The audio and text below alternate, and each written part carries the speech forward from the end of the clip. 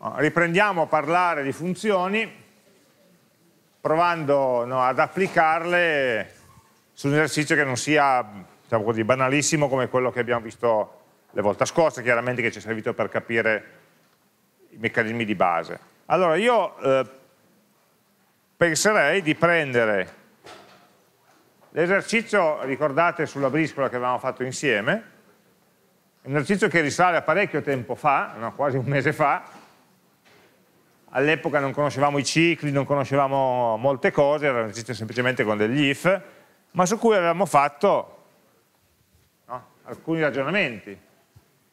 Allora, se adesso che conosciamo più cose, dovessimo rifare questo esercizio, come lo affronteremmo? O meglio, possiamo non rifarlo da capo, ma provare a prendere ciò che c'era e implementarlo in modo più modulare, in modo più ordinato, in modo più completo. Ok? Quindi io mi prenderei il file che avevamo nella settimana 4, me lo copio e me ne faccio una copia nella settimana 7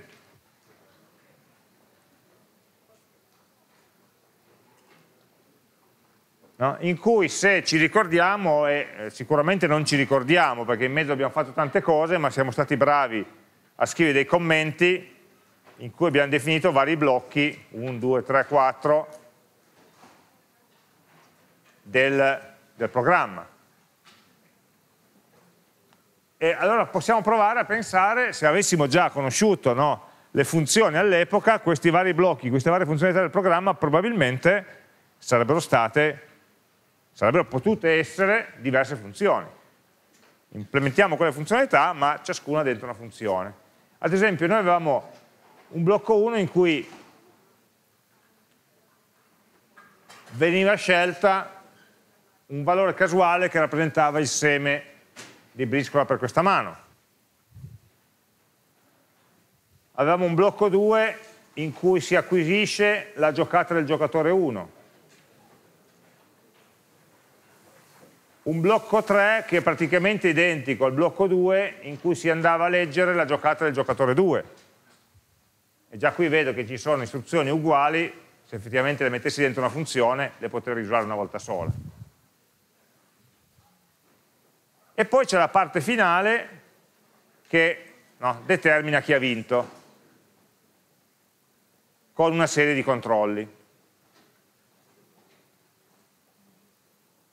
Allora, il programma principale, ciò che l'utente vede, alla fine l'utente vede che è stata scelta una certa mano di briscola, sono stati inseriti certi, certe giocate e alla fine so chi ha vinto. Ok? Poi c'erano tutti i passaggi algoritmici in mezzo. Allora, proviamo a immaginarci di poter incapsulare dentro delle funzioni le cose che facevamo. Allora, la più semplice, il passaggio più semplice potrebbe essere questo qua del, della lettura dei dati, perché proprio avevamo eh, delle istruzioni uguali. Quindi queste istruzioni sono un ottimo candidato a essere spostato dentro una funzione. Quindi io potrei definire una funzione che mi permette di leggere una giocata. E avendo a questo punto anche imparato i cicli e le altre cose, possiamo anche controllare che i dati inseriti siano corretti. All'epoca non eravamo capaci di farlo. Eh? Potevamo semplicemente, giocata non valida, cosa succedeva? Exit, il programma si interrompeva di brutto, ma perché non eravamo capaci ancora a richiedere. Quindi potremmo definire una funzione e dove la metto? La metto all'inizio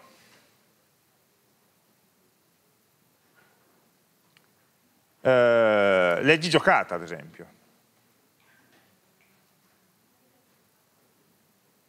in cui vado a inserire le istruzioni per leggere una nuova giocata dall'utente allora cosa riceve in input e che cosa genera in output questa funzione? Allora, in input eh, vedete che in che cosa differiscono questi due blocchi di istruzioni? Eh, differiscono essenzialmente per questa frase qua, primo giocatore, secondo giocatore. Per il resto fanno le stesse cose. Poi ovviamente la prima calcola, una, calcola e determina il valore di una variabile che si chiama giocata 1 e l'altro una variabile che si chiama giocata 2, ma questo sarà poi il risultato della funzione stessa, il valore di uscita. Eh? Quindi le due funzioni fanno la stessa cosa con la variante del messaggio di invito che stampano. E allora possiamo eh, pensare che all'inizio ci sia eh, diciamo così, il nome giocatore come parametro della funzione e il valore di ritorno sarà la stringa di due caratteri che rappresenta la giocata. Okay? Quindi alla fine ci sarà un return della giocata.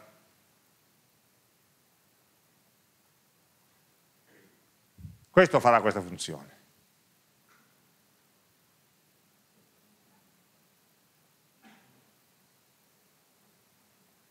Eh, se vogliamo fare una prima prova per capire cosa succede, mettiamo che lui gioca, eh, che ne so, il eh,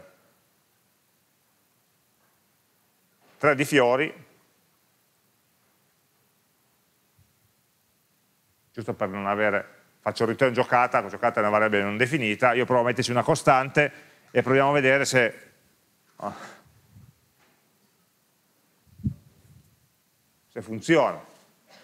Se io ho questa funzione che legge una giocata, io potrei pensare, ok, in questo caso non la fa davvero la lettura, ma per rapidità per il momento l'abbiamo sostituito con una costante. Poi ovviamente dovremo metterci le input, i controlli, eccetera. Ma se io ho questa funzione e supponendo che questa funzione sia completa, posso buttare via tutto ciò che ho qua.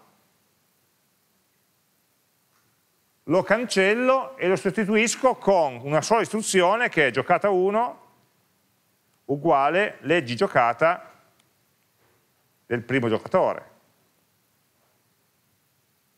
E tutta la parte rimanente anche la cancello, la butto via e avrò giocata 2, leggi giocata del secondo giocatore sono scappate delle parentesi in più.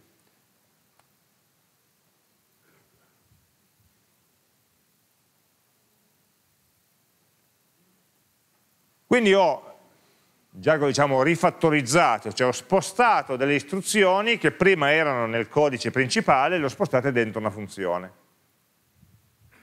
E il programma, forse, se non ho fatto cretinate, dovrebbe ancora funzionare, ovviamente con dei risultati sbagliati perché dice che entrambi hanno giocato il 3 di fiori che sappiamo che non è possibile. Ok? Però adesso abbiamo, diciamo così, snellito, semplificato molto e reso anche molto più leggibile il programma principale. Perché abbiamo delegato a una funzione, il, fatemelo chiamare il lavoro sporco di andare a fare la input, il controllo, eccetera, eccetera.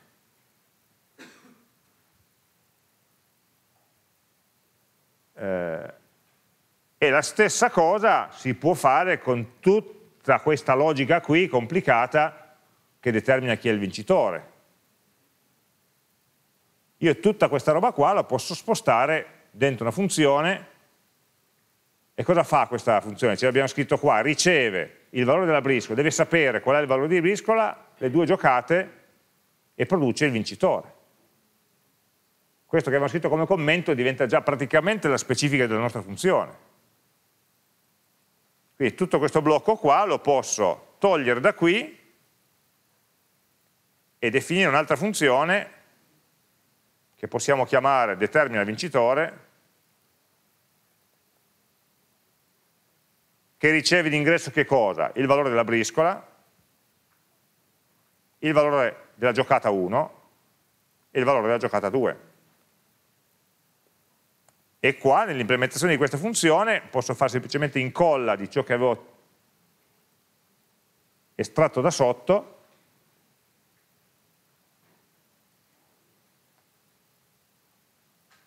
e ovviamente devo rientrarlo tutto di una posizione perché deve stare sotto la funzione.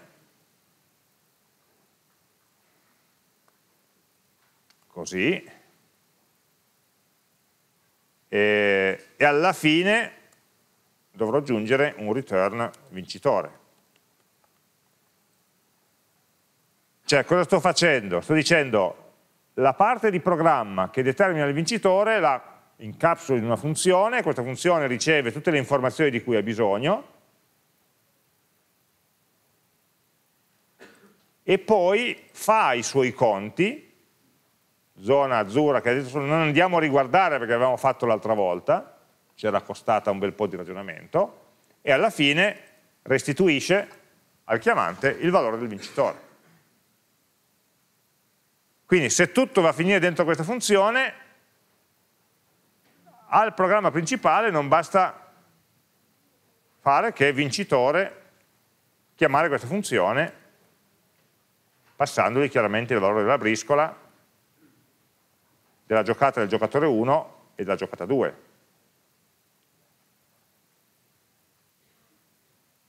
Cioè il mio programma principale si sta riducendo a tre righe.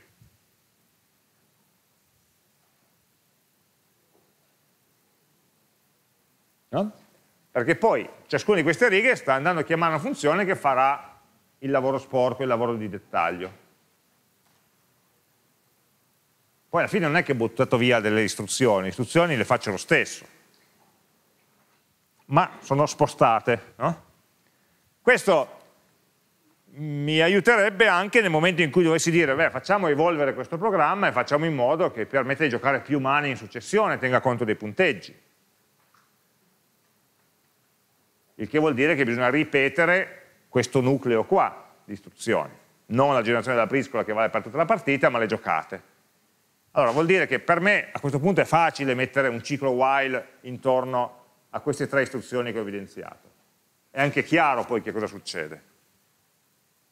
Se dovessi mettere un ciclo while intorno al programma che avevo prima, diventa effettivamente facile poi perdersi, no? perché ho poi tanti livelli rientrati e non capisco più esattamente dove sono. Quindi poter... Noi i ragionamenti li facciamo un passaggio per volta. Ok, acquisisco una giocata, determino un vincitore, ripeto una mano una seconda volta. Il meccanismo delle funzioni ci permette di far sì che anche nel codice si veda questa separazione tra i vari livelli di ragionamento, tra le varie sotto operazioni che vengono compiute dal programma. Ma rimaniamo su questo, non abbiamo ancora finito perché per ora ci sono ancora un po' di dettagli con cui volevo giocare con voi. Allora, giocata a 3F non va bene, dobbiamo mettere la lettura vera. Io adesso ho cancellato questo codice, ma fa lo stesso perché lo vado a riprendere da quello che avevamo nella settimana 2, dove c'era scritto una cosa di questo genere, e la vado a mettere qui, chiaramente poiché questo è il corpo della funzione va rientrato, non sarà il primo giocatore ma sarà, metto una stringa formattata, il messaggio che stampo è parametrizzato col nome del giocatore, e quindi adesso scriverò primo giocatore, secondo giocatore, poi magari quando vogliamo farlo più figo chiediamo il nome del giocatore, scriviamo Antonio, Giuseppe, Francesco. E poi l'altra cosa, ovviamente dobbiamo poi modificare le variabili perché questa funzione leggi giocata non sa se sta leggendo la giocata di uno o di due, è una generica variabile giocata quindi andiamo un po' a controllarlo qua giocata 1 non esiste come variabile. E restituisce questo valore di questa giocata generico che poi verrà salvato dentro giocata 1 oppure dentro giocata 2 nelle varie diverse invocazioni della funzione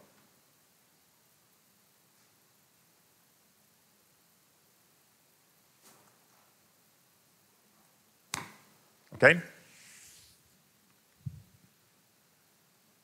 Um, proviamo a vedere se questo funziona, rilanciamo questo programma. Questa volta, per questa mano è fiore, quindi il primo giocatore magari mette un 2 di picche, il secondo giocatore mette un, un uh, eh, 6 di picche e quindi dice che ha vinto il giocatore 2. Mm? Quindi, stiamo facendo le stesse cose di prima, abbiamo solo spostato il codice.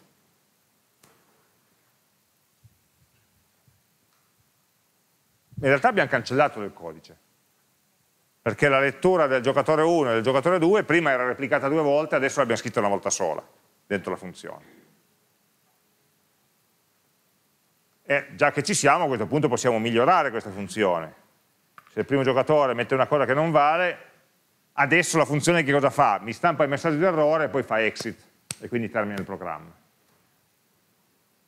Beh, avendo imparato i cicli, possiamo fare in modo che la funzione possa richiedere il valore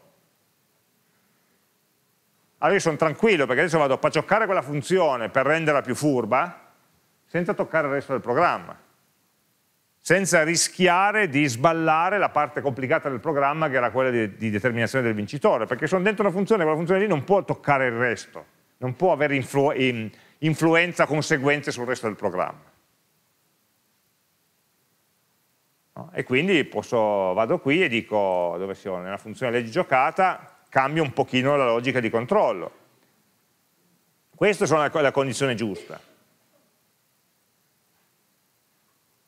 E allora mi chiedo, questa condizione è verificata o no?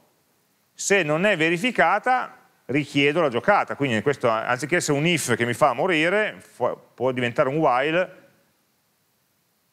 che mi fa dire che la giocata non è valida e poi richiederne una nuova. ovviamente devo poi metterla in maiuscolo.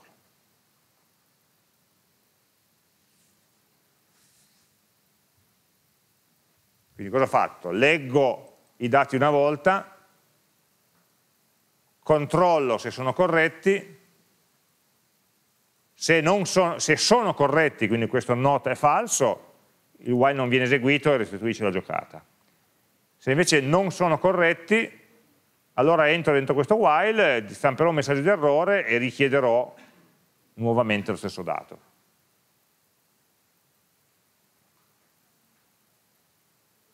E quindi se eseguo il programma, se il primo giocatore mi mette YY, gli dirò che questa giocata non è valida e quindi per favore il primo giocatore inserisci in una valida. Allora visto che la briscola è picche, mettiamo il 3 di picche. secondo il giocatore un, un asso di fiori e perde.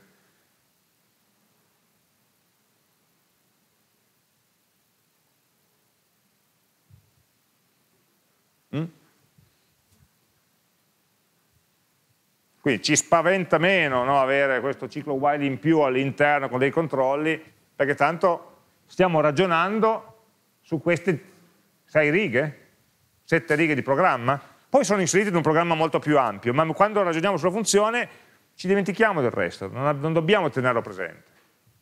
Quindi è più facile, diciamo così, riuscire a ragionare e anche migliorare le cose. Mm? Eh, ok, quindi noi abbiamo definito queste due funzioni,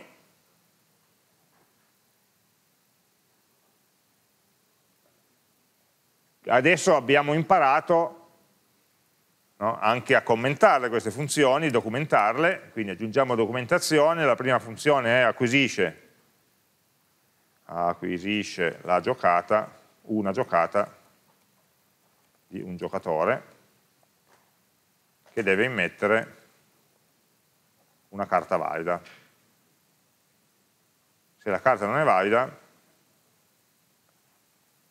viene chiesta ripetutamente, richiesta ripetutamente.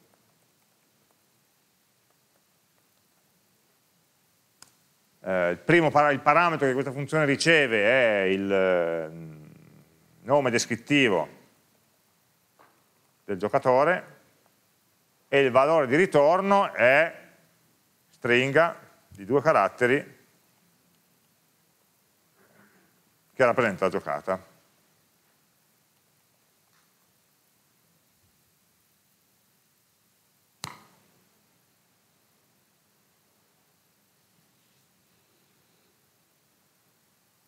se giocassimo a quattro giocatori questa funzione continua a funzionare. No? Giocare a quattro giocatori è più complicato, poi giochi due contro due, ma la regola, la regola chiaramente di capire chi ha vinto continua a, a valere concettualmente, ma ovviamente la funzione dovrà lavorare con quattro giocate anziché con due, quindi questa funzione si complica. Quest'altra no, semplicemente la chiamo quattro volte. Quindi in questo senso sto costruendo delle funzioni che siano anche riutilizzabili in futuro, in future versioni barra evoluzioni dello stesso programma. E anche qua mettiamoci un po' di documentazione, che in pratica avevamo già qua sotto in questi commenti, eh, quindi eh, determina vincitore, determina chi sia il vincitore di una determinata mano. Mano di gioco. Briscola è una stringa di un carattere che rappresenta briscola, il, eh, il seme di briscola nella partita. Questo non cambia le varie mani, ma è uguale per tutta la partita. Giocata 1 è la stringa di due caratteri che rappresenta la giocata del primo giocatore, la carta giocata dal primo giocatore e l'altro eh, sempre la stessa cosa ma la carta giocata dal secondo giocatore.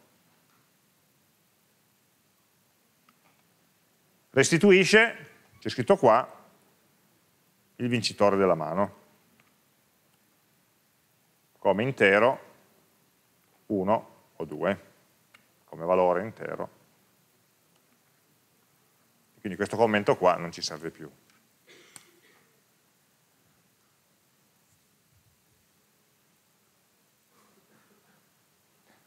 Uh, a, essere preciso, se questo c'è scritto determina che sia il vincitore, ehm, questa print sarebbe bene togliere dalla funzione, la funzione deve dirmi ok ha vinto uno, ha vinto l'altro, non è la funzione che stampa i messaggi a video, quindi questa, funzione, questa print, se mi permettete, la tolgo dalla funzione e la metto nel programma principale prima di chiamare la funzione. Sarà il programma che poi parla con l'utente. Quindi questa funzione diventa anche più, di nuovo, più riutilizzabile proprio perché non sporca lo schermo.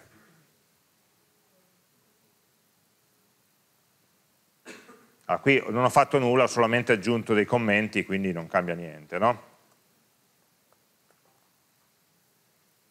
Il giocatore 2 in questo caso ha preso con un 2 di briscola, che era picche, un bel 3, portandosi a casa i punti.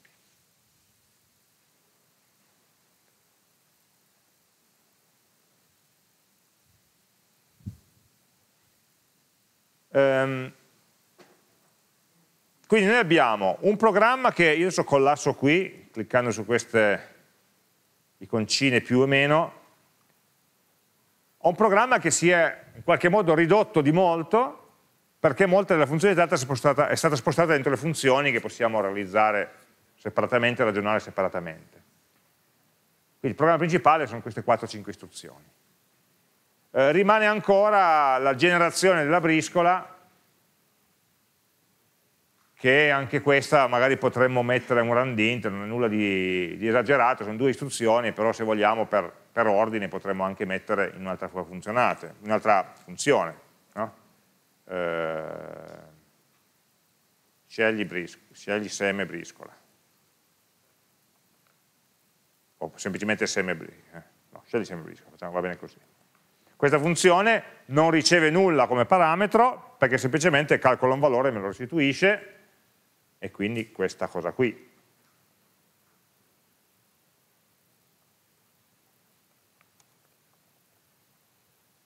E quindi sotto potrò, eh, anziché mettere randente, la chiamata alla funzione scegli seme briscola.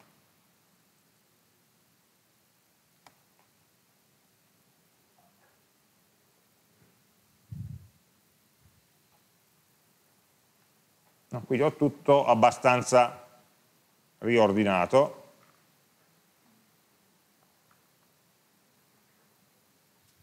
E continua a funzionare come prima.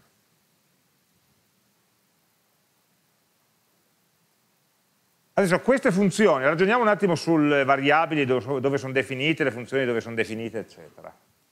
Noi abbiamo definito tutte le funzioni prima del programma principale che invece è definito, è scritto dopo. Queste sono le istruzioni del programma principale.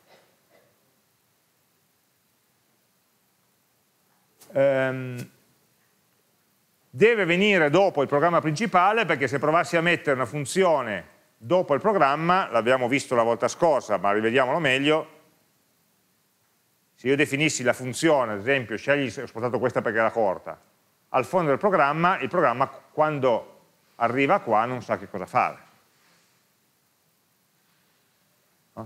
Questo da un certo punto di vista è un po' scomodo, perché vuol dire che la parte importante di un programma va a finire in fondo e davanti ci sono tutte le parti accessorie. No? E adesso oggi impariamo invece come fare a ribaltare la situazione. Quindi la regola generale è io posso chiamare una funzione da qualunque parte del mio codice purché tale funzione sia già stata definita. E definita vuol dire che l'esecuzione del codice Python è già passato almeno una volta dall'istruzione def.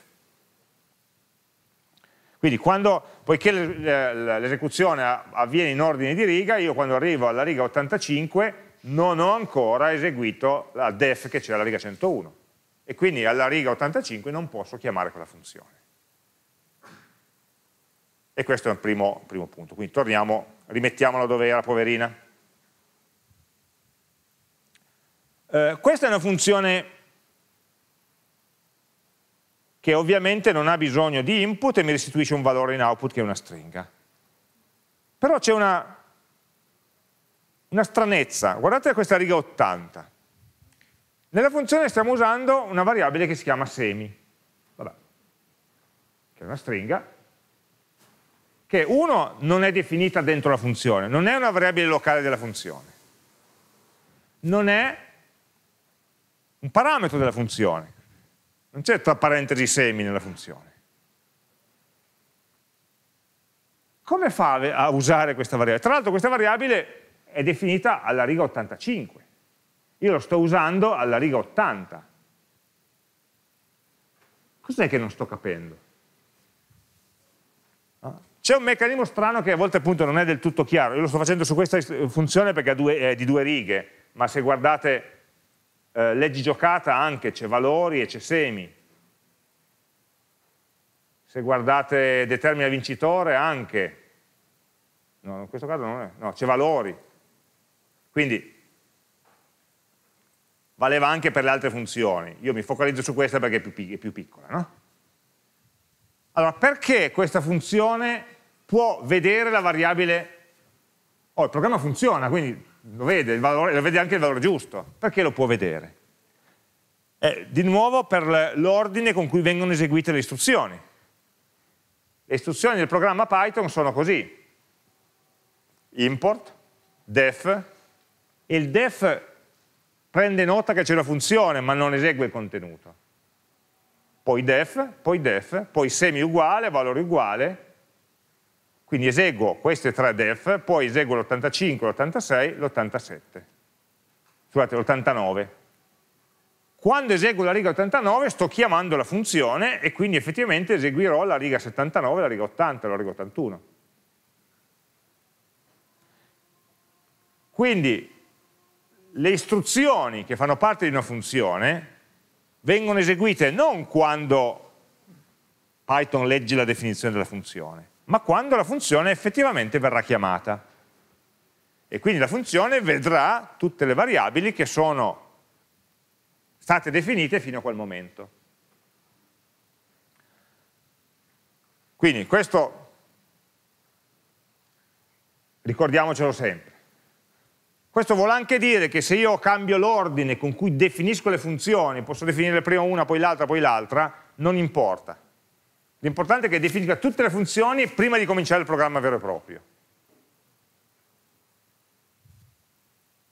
Se le definite tutte prima, poi il programma ne può chiamare qualunque in qualunque ordine perché tanto sono già definite. Okay? E si possono anche chiamare a vicenda, non c'è in questo eh, esercizio ma lo vediamo poi come un'estensione. La seconda cosa che emerge da questa istruzione qua della riga 80 è che ieri, no ieri, lunedì vi ho mentito.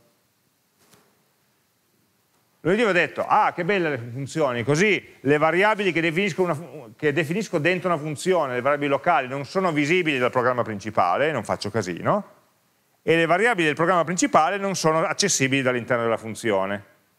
Abbiamo appena scoperto che così non è perché la funzione in questo caso sta leggendo una variabile semi che è una variabile che è stata definita al di fuori della funzione stessa. Tra l'altro è stata definita dopo, ma sul dopo abbiamo capito perché non è un problema. Allora questo fa parte del funzionamento delle funzioni, fa parte del funzionamento di Python, può darci fastidio oppure no. Allora, nel caso di semi non mi dà più di tanto fastidio, perché alla fine è una bella costante che è giusto che tutto il programma conosca. Ok? Un pochino di più mi dà fastidio che la stessa cosa succeda anche con le variabili briscola.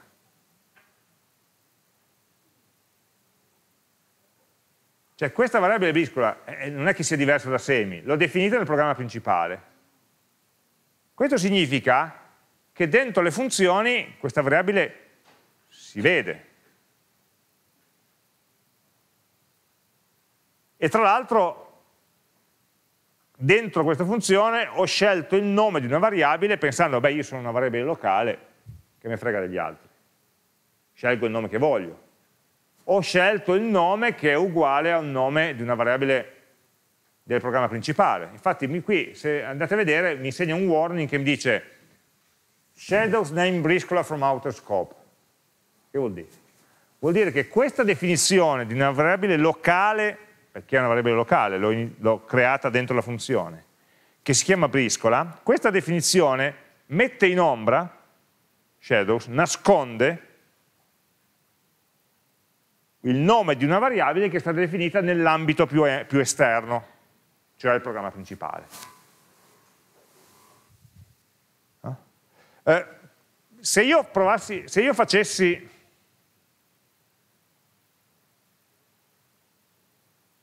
No, vabbè, lasciamo perdere.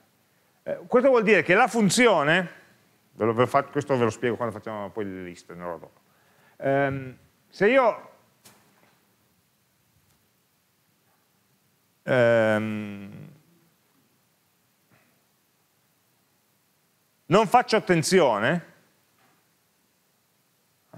rischierei, che so, immaginiamo che io qua scriva briscole anziché briscola.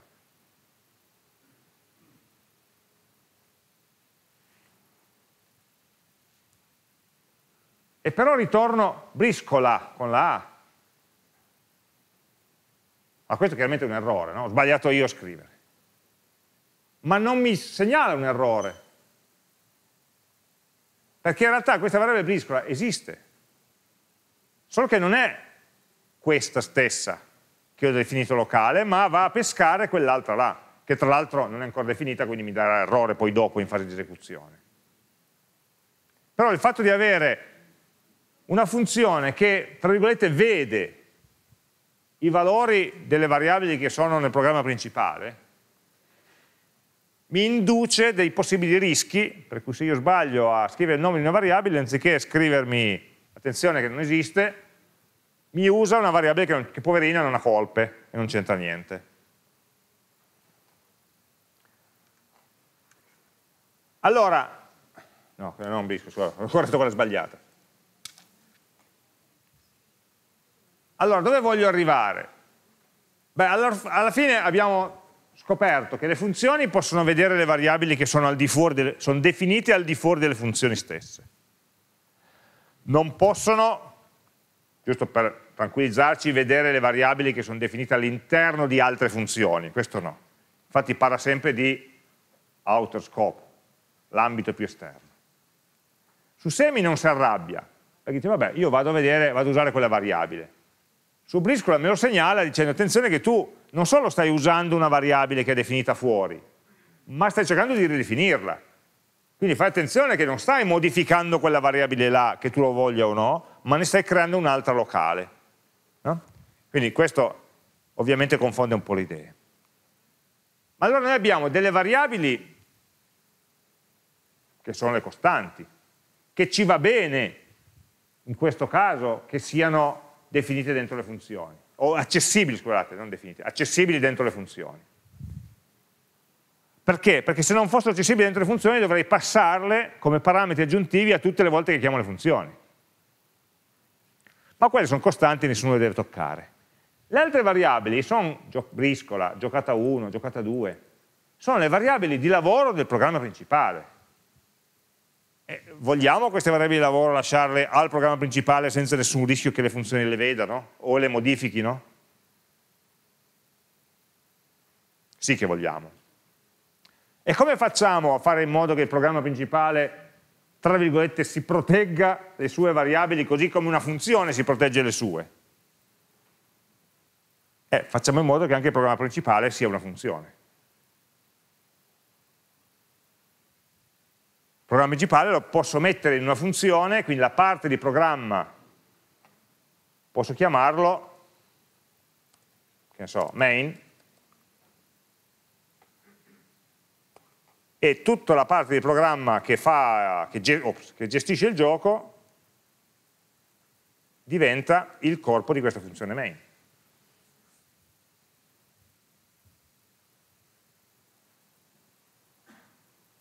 L'ho chiamata main per ricordarmi che secondo me è la funzione principale. Mm, la parola main, a differenza del linguaggio C o C++, non ha nessun significato speciale in Python, ok? Un programma in C inizia l'esecuzione da una funzione che si chiama main, che devo sempre definire. In Python no, inizia l'esecuzione dalla prima riga. Tranquillo. Quindi la posso chiamare come voglio, posso chiamare funzione principale, posso chiamare programma, posso chiamare partita, come volete. Cosa, cosa ho modificato? Semplicemente ho fatto in modo che queste variabili qui fossero variabili locali della funzione main e non più variabili globali del programma.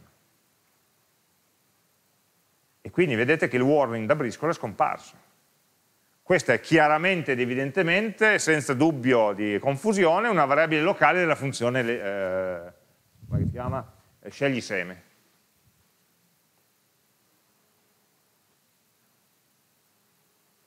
Ok?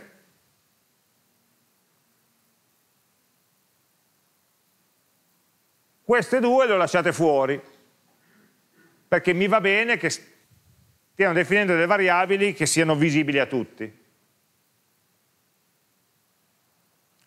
Magari per rendere più esplicito il fatto che queste devono essere visibili a tutti, magari le mettiamo in testa all'inizio. Definizione di costanti visibili globalmente.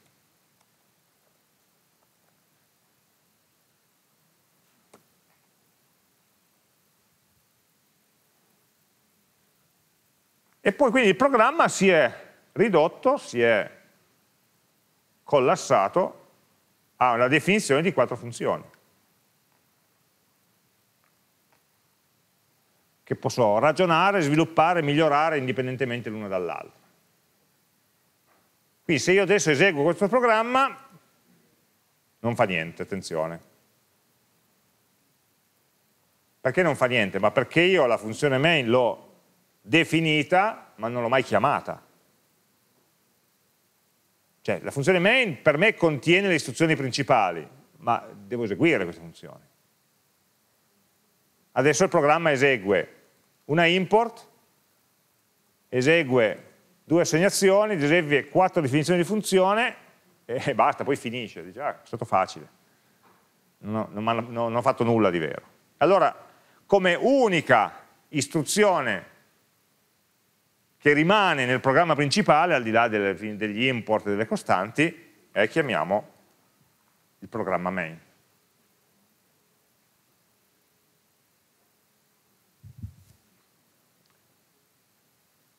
A questo punto lui fa, definisce questa, definisce questa, definisce questa, definisce questa, esegue il main.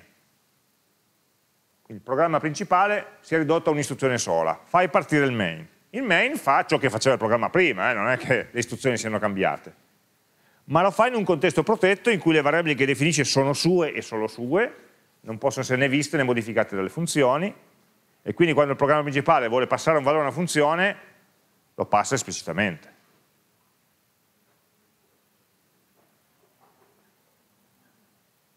ovviamente adesso funziona come prima. 2 di quadri, lui si sbaglia a scrivere, allora c'è sempre la funzione che corregge, quindi 6 di pick mi dice chi ha vinto il giocatore 1 e così via.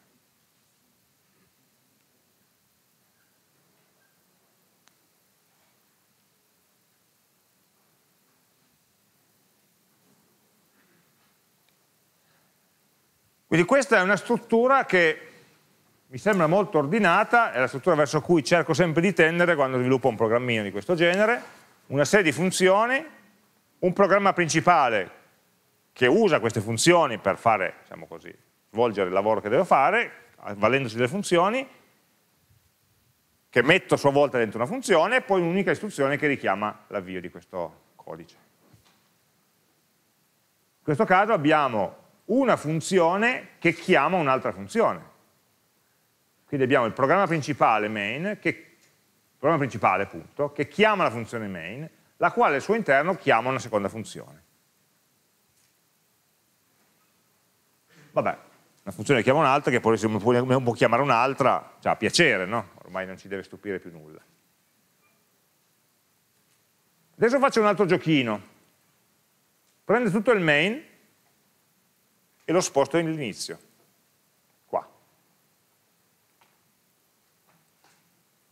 come prima funzione.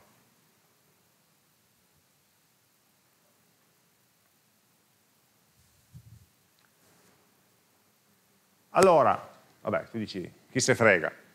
Eh, questo main chiama una funzione, scegli seme briscola. Ma la funzione scegli seme briscola alla riga 33 non è ancora definita perché verrà definita alla riga 50, eh, giù giù giù, è l'ultima, alla riga 99. Allora, funziona? Sì, funziona.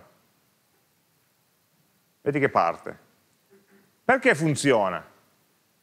Ma funziona perché, ripercorriamo ciò che fa Python, parte dalla prima riga, definisce semi, definisce valore, definisce la funzione main, definisci la funzione leggi, definisci la funzione determina, definisci la funzione scegli e poi esegue l'istruzione main. Quindi esegue tutte queste righe, poi esegue la riga 105, eseguire la riga 105 fa sì che entri dentro il main e comincia a eseguire la riga 33. Alla riga 33 dice, oh, c'è una chiamata una funzione, questa funzione c'è, è stata definita? Sì. È stata definita perché la funzione è stata definita alla riga 99, la quale nel testo compare dopo, ma nell'ordine di esecuzione compare prima rispetto all'esecuzione della riga 33. Questo perché queste funzioni sono richiamate tutte dal main, va bene, ma solo quando eseguo la riga 104. No? Se io provassi a prendere la chiamata alla funzione main e la mettessi da un'altra parte, tipo qui, Vabbè, definisco la main, poi chiamo il main e poi con le funzioni di ausilio e questa qua non, non funzionerebbe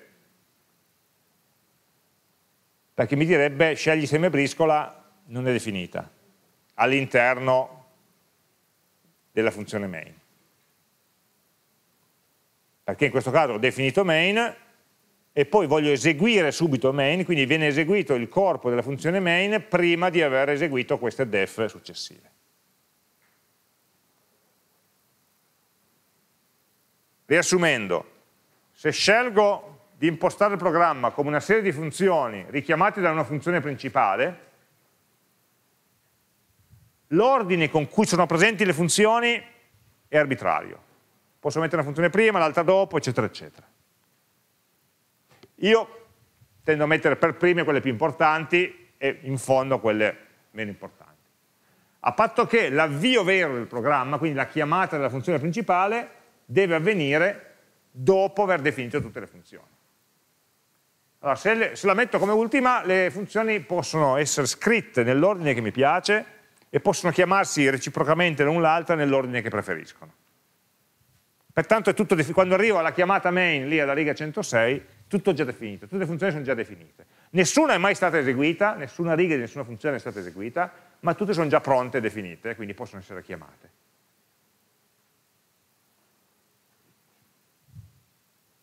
E quindi non è male avere un programma che adesso, se lo espando tutto, nelle prime righe del programma vedo che cosa fa. E se il nome, della, se il nome che ho scelto per le funzioni sono nomi parlanti, che dicono qualcosa, io semplicemente leggendo il codice, leggendo il nome delle funzioni, capisco abbastanza cosa sta facendo il programma. Poi se voglio sapere come fare a determinare il vincitore, entro poi dentro la funzione e me la vado a leggere sapendo che a questo punto la funzione avrà accesso alle sue variabili, ai suoi parametri, alle costanti che ho definito globalmente e basta. E non avrà mai accesso neanche per sbaglio a delle variabili definite all'interno di, di, altre funzioni o all'interno del programma principale, perché ormai il programma principale l'ho messo anche adesso dentro una funzione. richiede un po' più di organizzazione, no? E molto spesso capita come abbiamo fatto adesso. Prima magari scrivo del codice, perché magari non sono sicuro, prima devo, devo farlo funzionare e poi dopo lo riorganizzo meglio. Non è detto che al primo colpo riesca a trovare qual è, qual è l'organizzazione migliore.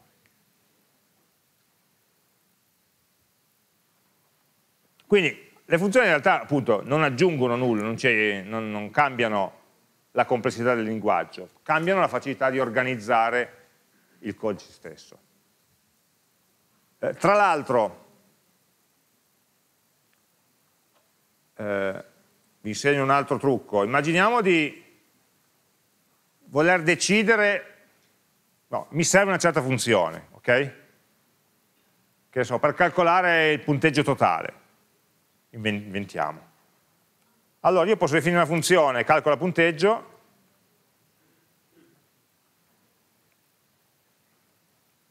e la voglio usare nel programma ma non la, non la, so ancora implementare o non sono ancora arrivato a implementarla, devo ancora farlo.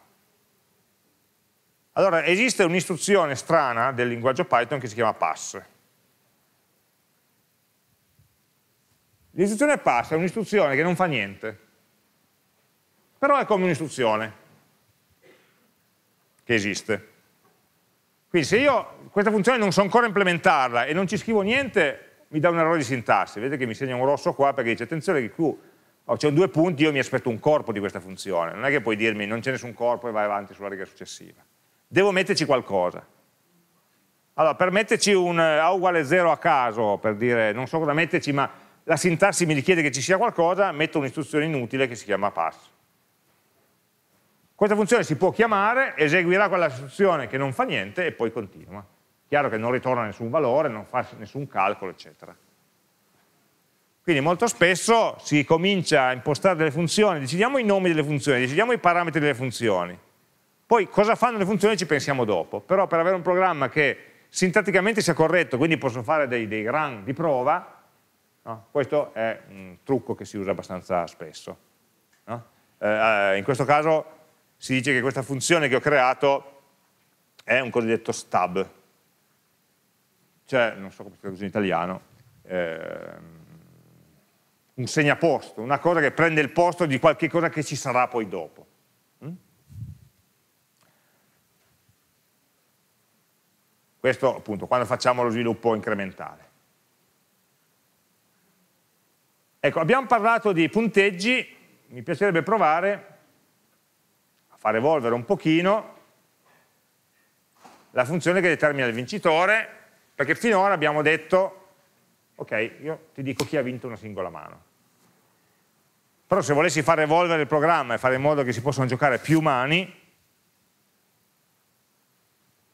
il programma principale dovrebbe tenere conto di quante mani ha vinto un giocatore e quante mani ha vinto un altro giocatore. Eh, non abbiamo ancora le carte vere, no? Ci dovremmo riprendere in mano almeno la settimana prossima. Però potremmo pensare che nel programma principale, anziché giocare una mano sola, decidiamo di giocare 10 mani, 3 mani, diciamo 3 perché dovendo provare poi ci annoiamo. Però possiamo definire un'altra costante lassù il numero di mani da giocare che potrebbe essere 3 e non solo una. Allora, come faccio a fare in modo che pro questo programma mi permetta di giocare tre mani? Eh beh, semplicemente nel main ci faccio un for che ripete tre volte. For mano in range numero di mani. Ops. Questa print va sopra.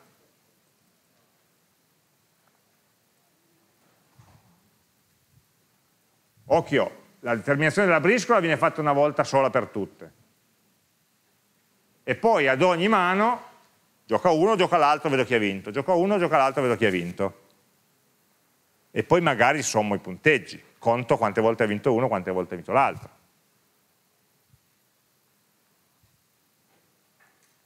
no? altrimenti quindi avrò altre due variabili che posso chiamare vittoria di 1 e vittoria di 2 che vado a incrementare, quando vince uno incremento la variabile vittoria di 1 e viceversa per l'altro. Quindi if vincitore è 1 allora incrementa vittoria 1 uguale vittoria 1 più 1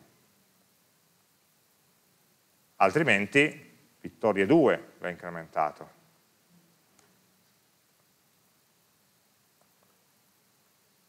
Così ti faccio giocare la mano, determino chi è il vincitore e se ha vinto il 2 incrementiamo di 1 il conteggio di quante volte ha vinto. Ovviamente queste due variabili sono due contatori condizionali, condizionati dal, dal fatto che uno abbia vinto, che vengono aggiornati dentro un ciclo for e quindi vanno inizializzati subito prima. Il valore iniziale del numero di vittorie di 1 di 2 è 0.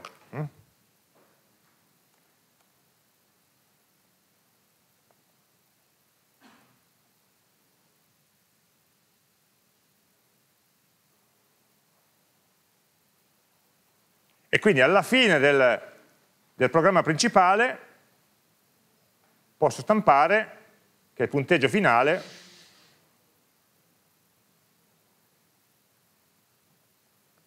è 3, 3 a 1, 2 a 1, 1 3 a 0, vittorie 1 a vittorie 2.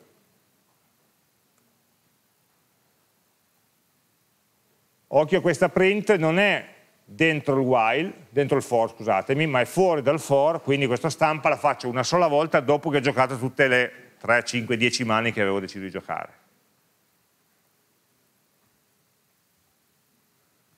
Ops. Ma sono ovviamente sempre dentro il main.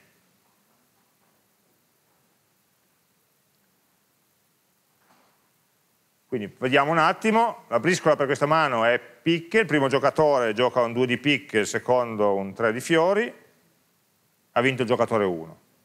Poi seconda mano, magari dovrei scrivere seconda mano, terza mano, aggiungo, aggiungo una print, il primo giocatore gioca un 4 di quadri, il secondo giocatore gioca un, un jack di sempre quadri, in questo caso vince il 2 la terza mano, un, due di fiori e un tre di quadri, vince 1, punteggio finale 2 a 1.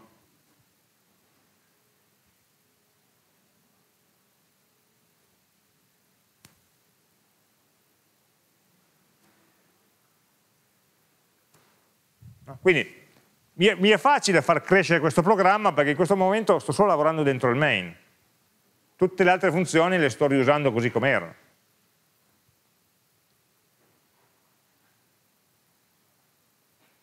Quindi abbiamo detto che converrebbe dire eh, mano, mano di gioco numero mano più 1, quindi stampa mano di gioco numero 1, numero 2, numero 3, fino a numero mani meno 1 più 1, quindi numero mani.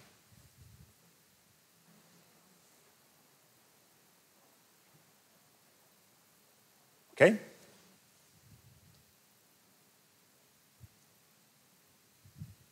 Quindi definisco altre variabili, ma sono tutte variabili private del main, se anche una funzione avesse usato dentro una variabile che si chiamava vincitore 1, non me ne può fregare di meno, non ci sono conflitti, non ci sono rischi. E io riesco a ragionare su una funzione che mi sta tutta su uno schermo. Riesco a vedere tutto il codice insieme, riesco a ragionarci sopra non ho un programma lungo 100 righe che devo andare avanti e indietro per ricordarmi dove è finita la variabile, dove l'ho inizializzata. Quando la incremento alla fine del ciclo vedo anche dove l'ho inizializzata all'inizio del ciclo, quindi posso controllare che tutto sia a posto. No? Quindi andiamo a piccoli pacchetti, piccoli perché sono piccoli bocconi che noi riusciamo a digerire ragionandoci. Ecco, fatemi ancora provare a fare un passo ulteriore. Questo è un punteggio finto, quello che ho dato qua perché nel gioco della briscola non conta chi, vince, chi prende più carte, no? chi vince più mani, ma a seconda di che cosa hai preso in quella mano hai un certo punteggio. Se tu prendi un 2, quello ti dà 0 punti. Se ti prendi un 3, ti dà 10 punti. Prendi un asse, ti dà un asso, ti dà 11 punti. Quindi sì, va bene sapere chi ha vinto, contare quante mani ho vinto io, quante mani hai vinto tu, ma se tu hai vinto tante mani ma hai sempre preso degli scartini, alla fine non hai punti. Ok? Allora come possiamo fare a tener conto dei punti effettivi?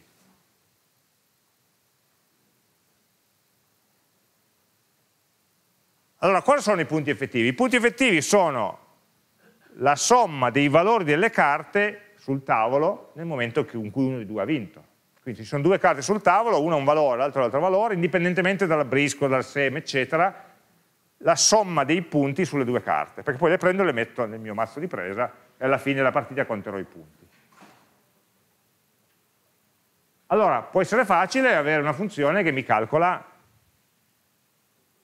il punteggio delle carte.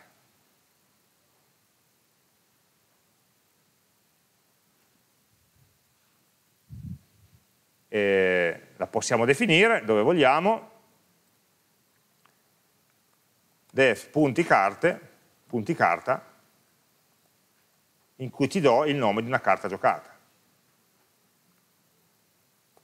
La chiamo carta anziché chiamarla giocata, è uguale, tanto è il nome di un parametro locale. C'è qualcosa che riceve in ingresso una carta e mi dice questa carta vale 0 punti, questa carta vale 7 punti. Ovviamente diamo per scontato che le carte siano giuste perché la nostra funzione di input solo, mi restituisce solamente carte giuste. E dipende solamente dal valore della carta, che è il primo carattere.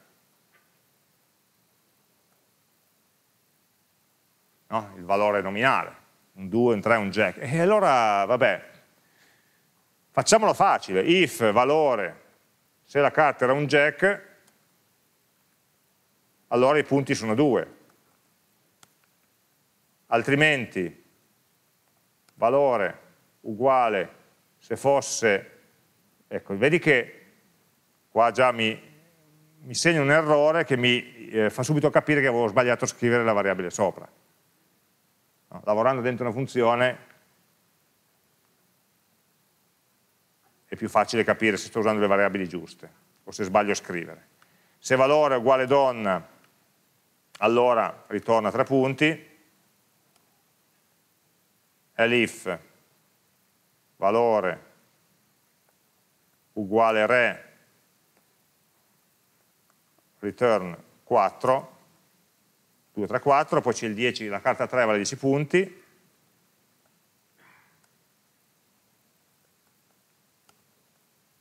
e poi ho l'asso.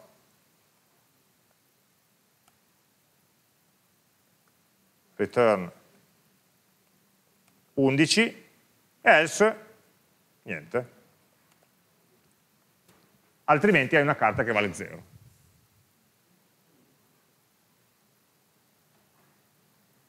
questo è un modo becero con una serie di if. Avrei potuto farlo in modo più furbo andando a vedere l'index, il find. Boh, forse sì, forse no, non lo so la scrivo, dovrebbe funzionare poi ci sono modi più semplici di farla magari la faremo qui ho messo un uguale singolo anziché doppio okay. questa funzione cosa fa?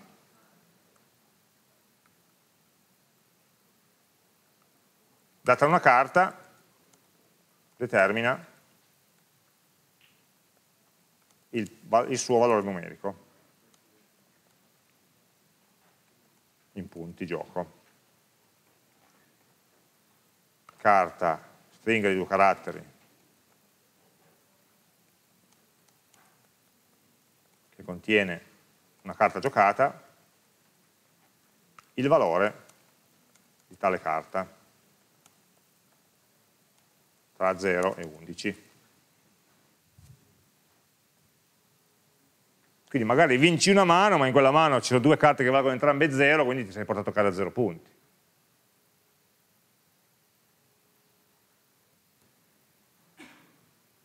Allora, avendo questa funzione, sperando che funzioni correttamente, possiamo andare a modificare il programma main tenendo conto non solo del numero di vittorie, ma dei punti. Cioè quando vince il vincitore 1, prende un numero di punti su un punti 1 uguale punti 1 più, più la somma dei punti delle due carte. Punti carta di giocata 1 più punti carta di giocata 2. E la stessa cosa succede sotto, se invece vince 2, chiaramente incrementerò un'altra variabile che chiamo punti 2, della stessa quantità. Punti 1 e punti 2 non facciamoci cogliere impreparati, li inizializziamo a 0,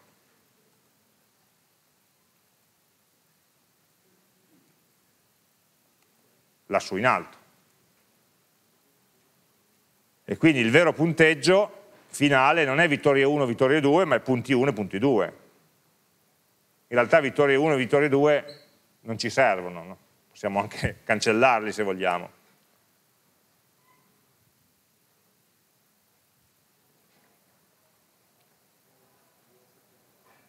Quindi cosa ho fatto? Ho riconosciuto che mi serviva una funzionalità in più e ho fatto due cose. Mi sono costruito una funzioncina che mi desse il pezzo che mi serviva e sono andato a ritoccare il main per andare a chiamare la funzione dove mi serve, anziché andare a complicare direttamente il main.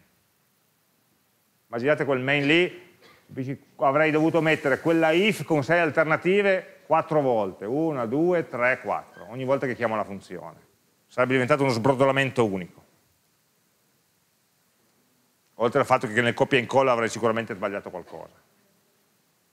Adesso non è detto che non abbia sbagliato, eh, vediamo. Uh, questo è fiori, quindi diciamo che lui parte subito grosso con tre di fiori, ma gliela mangia l'altro con l'asse di fiori.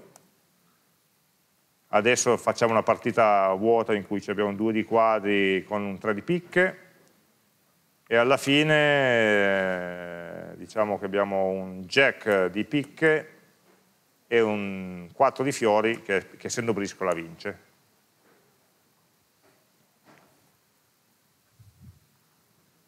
Punteggio finale 10 a 23, vediamo, giocatore 1 quando ha vinto? Ha vinto qua, prendendosi un 2 di quadri e un 3 di picche, quindi questo gli ha dato i 10 punti, il 3 di picche. Il giocatore 2 invece ha vinto qua, dove c'era un 3 e un asso, quindi 10 più 11 fa 21, e poi ha vinto qua dove aveva un jack e un 4, quindi il jack vale 2 punti, 21 più 2 fa 23.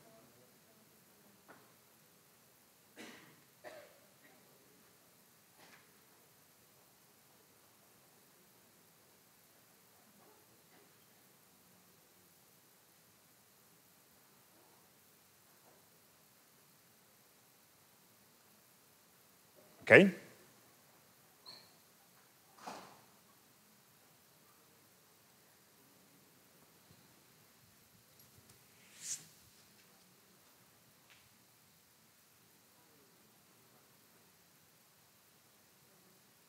Domande?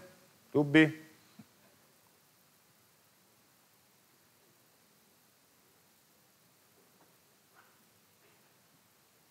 Allora, chiaramente con questa uno può anche lì pensare passaggi successivi, che ne so, giocare in quattro giocatori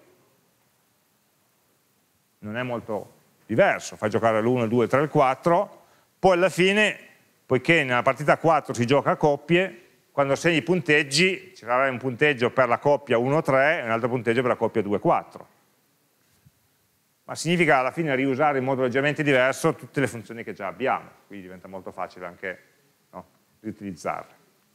Eh, quindi quello che ci ricordiamo è, questa è la mia preferenza, cerchiamo di strutturare i programmi con un insieme di funzioni. Rende facile, è chiaro che eh, ci vuole uno sforzo in più, perché bisogna esplicitare esattamente quali sono i parametri e quali sono i valori di ritorno. Però è uno sforzo che dobbiamo fare comunque anche se non usassimo le funzioni dovremmo avere comunque ben chiaro chi calcola questo valore e chi lo usa, perché altrimenti stiamo scrivendo un programma che non capiamo noi stessi. Mi richiede di farlo esplicitamente, di farlo prima questo ragionamento, no? quindi è un costo che però mi torna, mi torna in chiarezza, in flessibilità, in, in possibilità appunto di andare a migliorare una parte del programma senza avendo la certezza di non rovinare le altre parti del programma, di non creare problemi, riusare variabili che non dovevo, eccetera, eccetera. Ok? Serie di funzioni e al di fuori delle funzioni io ciò che ci vedo sono queste due cose, eventualmente ci sono delle costanti che tutti devono usare, allora definiamo l'inizio, degli import che servono a tutti e li mettiamo all'inizio e poi alla fine di tutto c'è un'unica istruzione, non dimenticatevela, che è quella che fa partire la giostra, che è l'unica vera istruzione eseguibile di questo programma. Dimmi.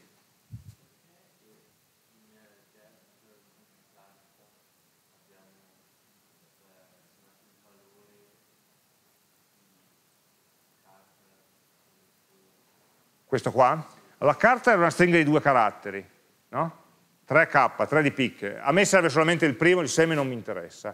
Quindi per non dover scrivere carta di 0 uguale J o carta di 0 uguale Q, eccetera, mi sono fatto una variabile locale in cui ho memorizzato solamente il dato che mi serve, per risparmiare parentesi quadre da scrivere. Mm?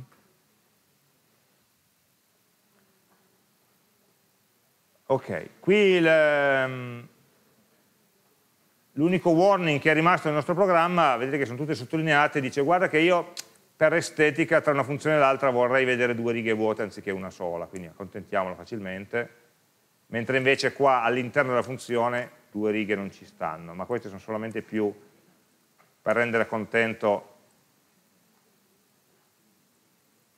diciamo così, la, il controllo stilistico che ci fa PyCharm sul programma che abbiamo scritto. Ecco, ridendo scherzando abbiamo un programma di 150 righe, ma noi non abbiamo mai ragionato su 150 righe, abbiamo sempre solo ragionato su 10-15 righe per volta. Okay? Va bene. Ehm... Cosa ci manca qua ancora? Beh, sicuramente ci manca la gestione del mazzo. Cioè le carte non è che decido io quali, quali dare posso solo, altrimenti uno mette sempre l'asso di briscola e vince sempre, no? E invece no, se ce l'hai lo puoi giocare una volta sola, quindi quali carte ci sono, quali devono essere date, quali hai tu in mano tra cui puoi scegliere, in Blisco si gioca con tre carte per volta, e quali sono già state scartate, no? quali sono già state usate. Questo non lo sappiamo fare perché ci richiederebbe di gestire non una variabile, una giocata, ma un elenco, un elenco di carte, un mazzo di carte. Noi sappiamo cos'è una carta, una stringhetta di due lettere. Cos'è un mazzo di carte? Eh, sono 40 stringhette di due lettere. Ma 40 non è che mi definisco 40 variabili a mano. Dovrò definire una variabile che a sua volta contenga 40 altre variabili, o meglio ancora 40 valori. E poi da questa variabile posso andare a scegliere uno di questi 40 valori, cancellarlo, aggiungerlo, aggiornarlo, eccetera. Quindi se finora abbiamo lavorato solamente con valori elementari, numeri, stringhe, booleani, che contenevano un valore, l'eccezione un pochino era la stringa che a sua volta conteneva tanti caratteri, ma poi mi fermavo lì, erano sempre valori singoli, dobbiamo imparare dei nuovi tipi di dati che siano invece dei contenitori di valori. Il contenitore più semplice è un contenitore a elenco o a lista che impariamo a vedere tra un quarto d'ora dopo l'intervallo. E quindi vi lascio respirare con un po' di anticipo rispetto al solito. Quindi all'1 e 5 vediamo le liste.